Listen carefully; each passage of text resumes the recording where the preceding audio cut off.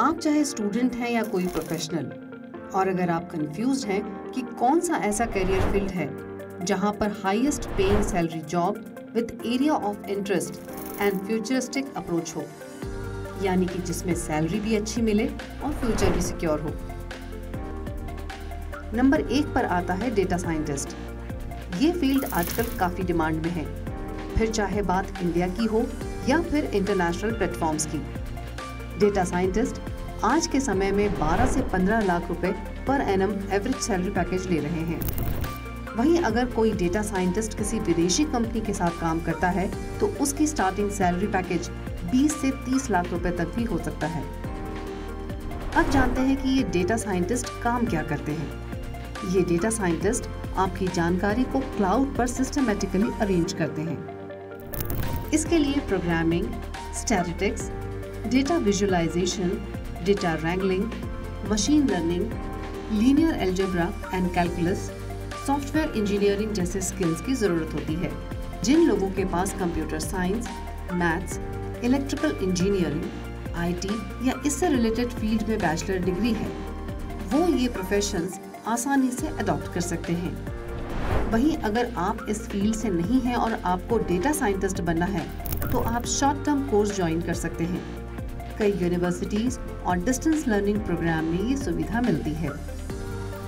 Number two A I experts जैसे जैसे artificial intelligence की मांग बढ़ रही है, इसके एक्सपर्ट इससे जुड़े कानूनी सलाहकार और टेक्निकल एक्सपर्ट्स की डिमांड भी तेज़ी से बढ़ी है। अब बात करते हैं कि एआई एक्सपर्ट्स काम क्या करते हैं। तो आजकल education engineering agriculture writing health ऐसा कोई भी फ़ील्ड नहीं है। जहाँ आर्टिफिशियल इंटेलिजेंस का काम नहीं हो। गूगल मैप स्पीच रिकॉग्निशन और सेल्फ ड्राइविंग कार्स जैसी चीज़ों के लिए भी एआई की मदद ली जाती है। सिंपल वर्ड्स में समझे तो ये एक मशीन लर्निंग प्रोग्राम होता है, जिससे आप कोई भी काम ले सकते हैं। इस फ़ील्ड में बेसिक स्किल्स की रिक्वायरमेंट है।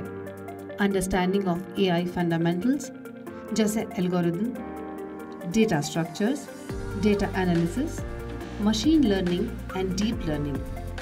वहीं कंप्यूटर की थोड़ी जानकारी और कंप्यूटर साइंस में बी सी और मैथ्स एक्सपर्ट इस फ़ील्ड में अपना करियर बना सकते हैं। नंबर तीन मॉडर्न फ़ार्मिंग। एग्रीकल्चर का फ़ील्ड टेक प्रो हो रहा है। ऐसे में सीड्स एक्सपर्ट्स, इरिगेशन एक्सपर्ट्स, मौसम का पता लगाने वाले डेटा एनालिटिक्स की ग्लोबल मार्केट में काफ़ी मांग बढ़ी है।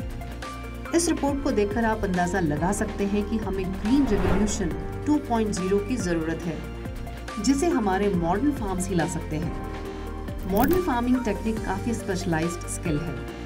आज वर्टिकल फ़ार्मिंग हाइड्रोपोनिक फ़ार्मिंग जैसी काफ़ी एडवांस सिनेरियो को रिप्रेजेंट कर रही है।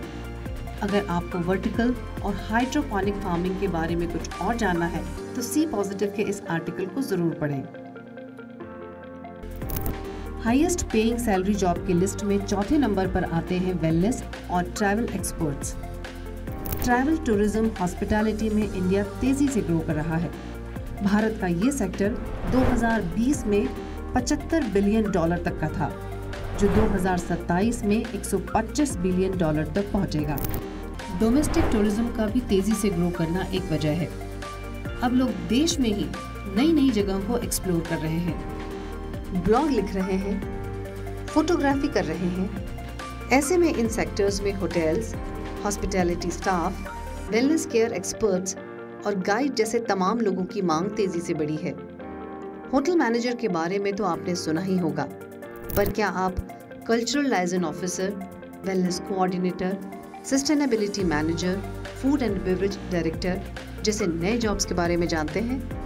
दरअसल ये प्रोफेशंस काफ़ी तेज़ी से उभर रहे हैं। थ्री और फाइव स्टार होटल्स इन प्रोफेशनल्स को सालाना 15 से 20 लाख रुपए की सैलरी के पैकेज पर हायर करते हैं।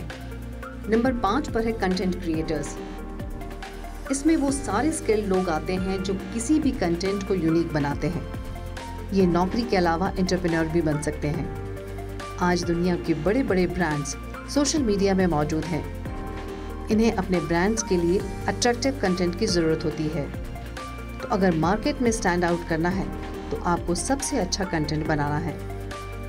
पैसे आपको आपकी काबिलियत के हिसाब से मिल ही जाएँगे। इसके साथ ही, इस फ़ील्ड में सबसे ज़्यादा आजकल वीडियो एडिटर्स, ट्रांसलेटर्स और वॉइस ओवर आर्टिस्ट कमा रहे हैं। एक रिपोर्ट के मुताबिक, इन्हें यूएस की बड़ी कंपनियाँ 150 लाख यूएस डॉलर्स तक की भी सैलरीज दे रही हैं। नंबर छः की अगर बात करें तो हैकिंग एक्सपर्ट्स। सबसे इन डिमांड जॉब के रूप में हैकिंग ट्रेंड में है। अब आप ये सोच रहे होंगे कि हम आपको हैकिंग क्यों करवाना चाहते हैं? पर यह सच है कि हैकिंग करने वालों की मांग फ्यूचर में सबसे ज़्यादा होगी।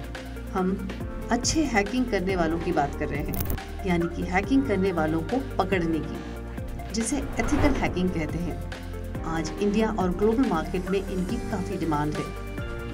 ऐसा इसलिए क्योंकि हर बड़ी company bank media firm law या स्कूल सभी जगह लोगों को अपने डेटा को सुरक्षित रखना है।